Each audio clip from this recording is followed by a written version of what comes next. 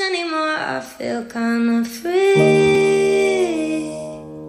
We're still the kids we used to be.